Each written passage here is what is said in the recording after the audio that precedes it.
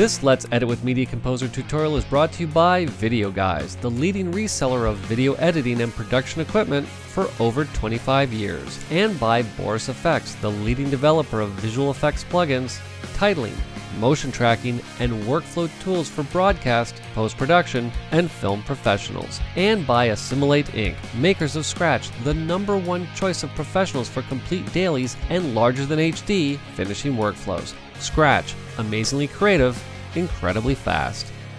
Hey everyone, Kevin P. McAuliffe here, and I am back again with another Let's Edit with Avid Media Composer tutorial. And one thing I love about being part of the Avid Editors of Facebook page is that there's always some great questions that come up, and questions that in a lot of cases I might think is common sense, but it's always interesting to see what new users to Media Composer think about, you know, what I consider to be a common task, whether it's importing, whether it's even capturing effects work, or in this case, exporting.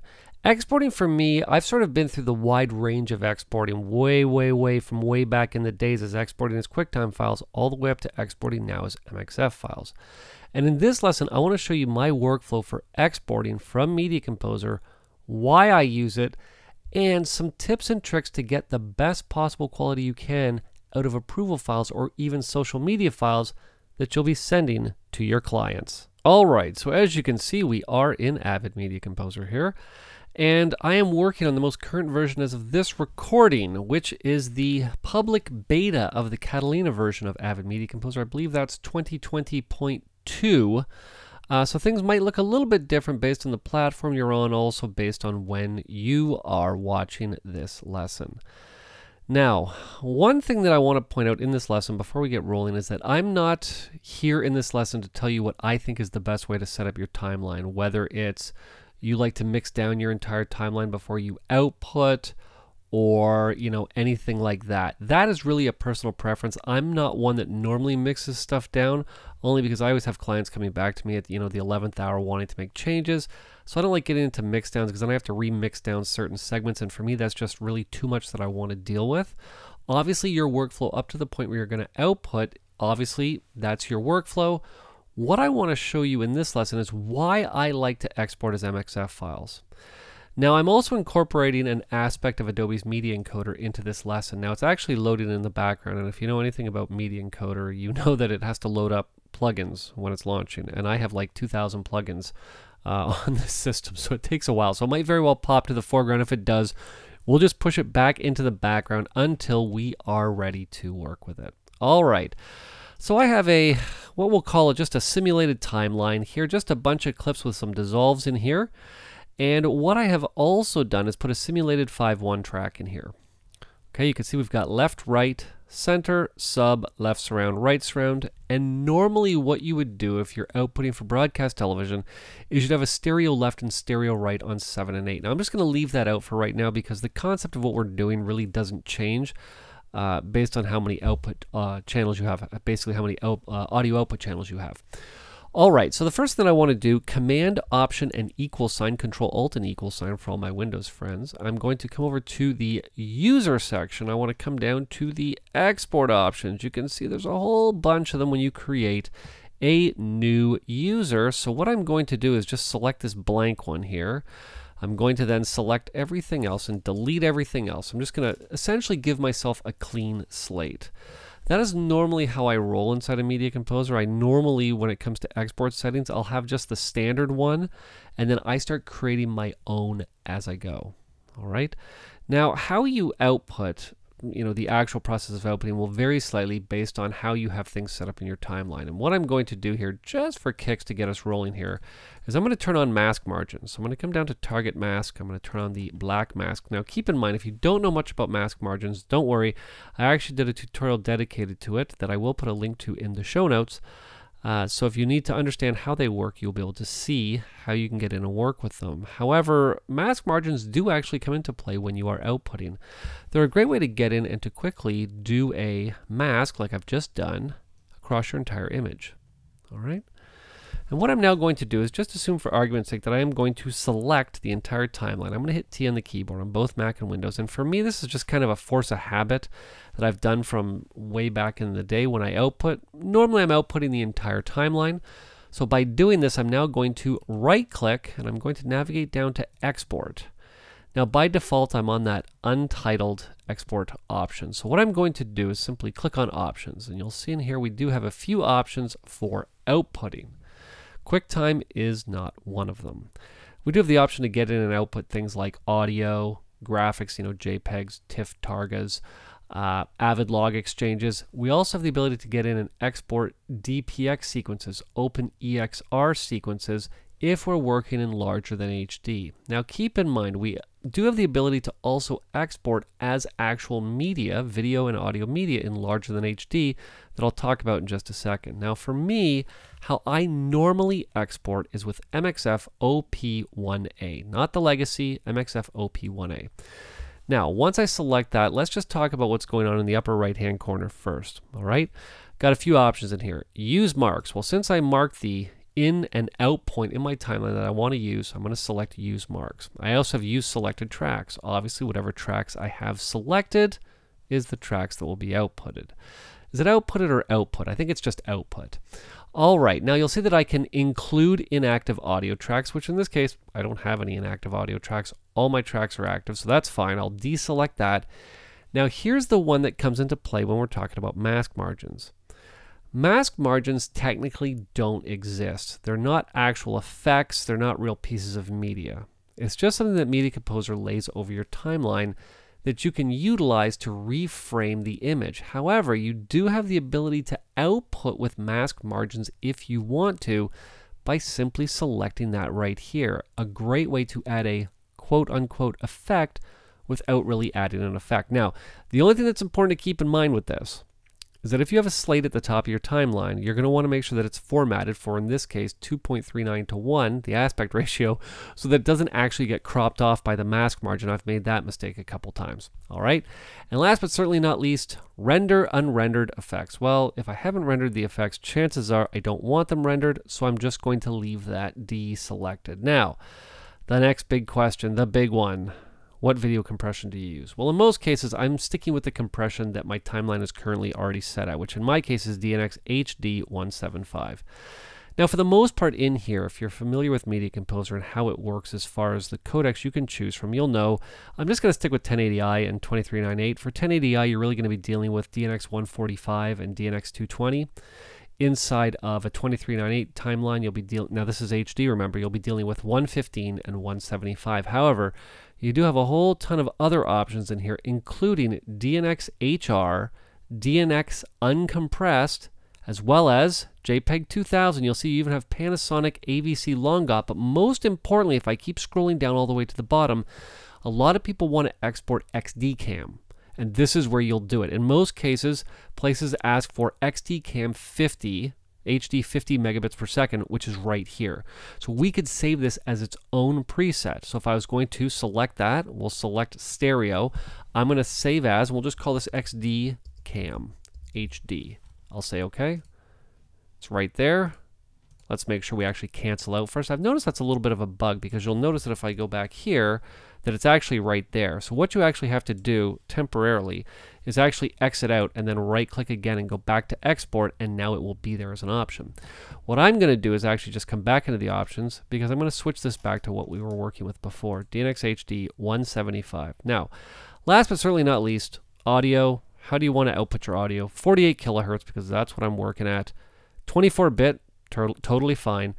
Now, in this case, you have to choose between 5.1 and direct. For me, I'm normally always just outputting a direct output.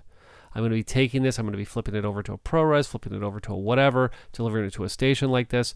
For me, I normally just stick with direct output. This is a personal preference. However you want to work to output however many audio channels you have is entirely up to you. So what I normally do in this case is I do a save as, I call this DNX HD 175. Okay, and I say okay. Now what I'm going to do, you'll see again, I'm just going to cancel. We'll right click, we'll say export. And I'm going to export this to the desktop. We'll just call it master output. All right. Now what I'm going to do is make sure options good, export, go. Now the big question does of course come up. Why am I doing things this way? Well, you'll notice that QuickTime was not an option. And even if QuickTime was an option, I'm not going to use it. So why am I not going to use it? The reason I'm not going to use it is because It doesn't matter how sure your client thinks they are, of however done they think their project is. They never are. You know this. I know this. You know they're going to call you on a Friday afternoon, 5 o'clock of a long weekend because they want to fix something. All right. So what I'm going to do is just hide Media Composer for one second. Oh, there we go. Media Encoder has finally appeared. Let's hide Media Encoder as well. I'm just going to reposition everything here and we'll just clean up the desktop. There we go. Very nice. And now that we have our clip exported to our desktop, I normally like to check it. Now, I'm a big fan of the Creative Cloud just because I use After Effects all the time. I use Photoshop, I use Media Encoder, and one tool that I love in there that not a lot of people use, especially I say editors. You know, a lot of editors I talk to don't use it. I'm just going to come down here and we're going to open this with other, and I'm going to open it with Adobe Audition. I love Adobe Audition. I'm a huge, huge fan of it. So let's open with this. I'm just going to say open, and the reason I like to open it with Audition is because Audition will obviously show me all of the audio channels that have been exported with this clip, but more importantly, what it will also show me is the video as well. So I can jump down to any point like right here, hit play on the keyboard, and I can see all of my channels going at the same time and the video playing along with it.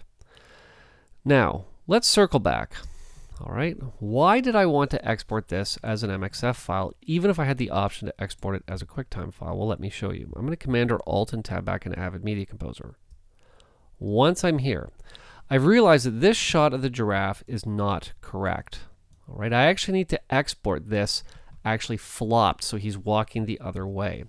So I'm just going to call up the effects palette here. I'm going to type in flop. There's flop, and we're going to flop it. Now, this is not that big a deal on, you know, a 45 second long timeline. However, what if this timeline was like, you know, two hours long? And what are you going to do? Sit through the entire export again? No, you're not. What you're going to do is you're going to come back and you're actually going to mark the range that you'd like to re-export. Now remember, our giraffe was originally walking from left to right. Now he's walking from right to left. So what I'm going to do with this area marked is I'm going to right click and I'm going to come down to Insert, Edit, Export. Now it's going to ask me which clip do I want to export back to and it's going to be my master output MXF file. Now it's important here that you didn't change any of the time code with your timeline or anything like that. Let's just go into the options and you'll see that we can, in this case, use marks, use selected tracks, include inactive audio tracks. You'll see there's all the information that we have about the clip that we're going to be exporting, compression, all that type of stuff. I'm going to come down and say OK, and it's going to export the file. You'll see, boom, there we go. So now if I head back to the desktop, I right click on this file, I say open with, we come down to other, I'm going to come back to audition. Now remember that giraffe, we want to have it now walking from right to left instead of from left to right. Well, we're going to give audition a second to open up here. And once it does, we can jump down and see that that giraffe is now walking from the right side of the screen to the left side of the screen. And I didn't have to sit here for three hours waiting for my timeline to re-export. All right. So this is huge, huge, huge, huge, huge. And the main reason that I export as MX, well, it's not the main reason, but it's one of the main reasons I export as MXF files in case I ever have to get in and make an update. Now, with that being said, what I'm going to do is Command or Alt and Tab into Adobe's Media Encoder. I'm going to take that MXF file and drag it and drop it in here. One of the other tools that I use, and I'm not one normally that jumps in and says, oh, hey, you should buy this or you should buy that or you should buy the other thing. But one tool that I use probably more than any other tool in my editing toolkit is an extension for Media Encoder that is called After Codecs.